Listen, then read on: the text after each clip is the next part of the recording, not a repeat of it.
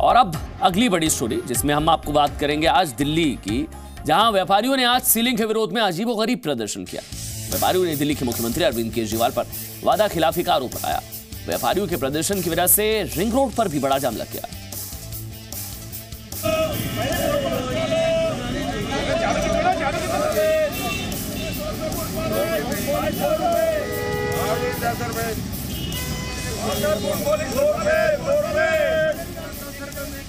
ये वो व्यापारी हैं जिनके दुकानें सील हो गई हैं। इनका कहना है कि जो लाखों का टैक्स भरते हैं, अब दुकानें बंद होने की वजह से सड़क पर आ गए हैं।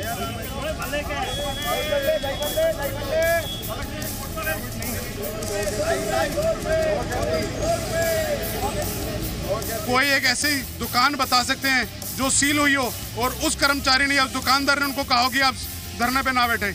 केवल उन्हीं की बनाई हुई ट्रेडर एसोसिएशन जो सीटीआई है केवल उन्होंने इसका विरोध किया कि आप वहाँ मत बैठिए। ये दिन अब दूर नहीं है कि हमें बिक्री मांगनी पड़े अब। खाने को दो दिन चार दिन छह दिन उसके बाद बच्चों की अगले महीने फ़ीस है मेरी बच्ची टेंथ में पढ़ती थी। अब उसको स्कूल छोड़ने जाऊँ जब पेपर कराऊँ जब बल्ले बेचूँ क्या करूँ बताइए मैं अगले बार महीने की फ़ीस कैसे भरूँगा मैं?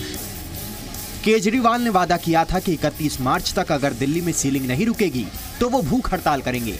लेकिन केजरीवाल दिल्ली छोड़कर हरियाणा में अपनी पार्टी का जनाधार बढ़ाने में व्यस्त हैं। केजरीवाल हरियाणा के छह शहरों में रोड शो करेंगे। आज बहादुरगढ़ पहुँचे केजरीवाल से सीलिंग को लेकर सवाल किया गया, लेकिन केजरीवाल ने मानो मौन व्रत रख लिया है। वहीं दिल्ली में व्यापारी मंच लगाकर केजरीवाल का इंतज़ार कर रहे हैं।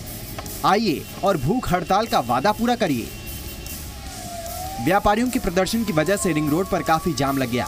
व्यापारियों का दावा है कि दिल्ली में सीलिंग की वजह से तीन महीनों में चार हज़ार से ज़्यादा दुकानें सील हो चुकी हैं। अश्विनी गुप्ता, जी मीडिया।